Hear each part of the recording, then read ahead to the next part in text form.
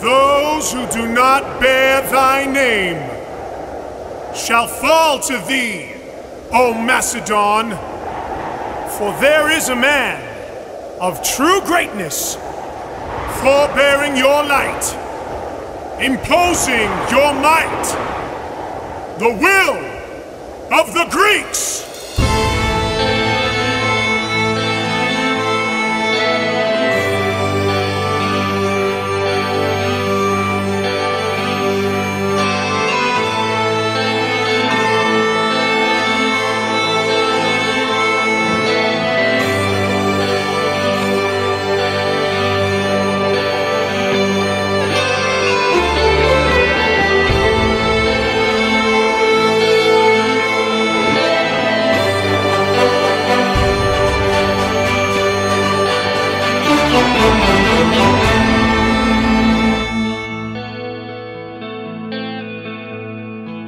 To understand the laws of nature is to understand.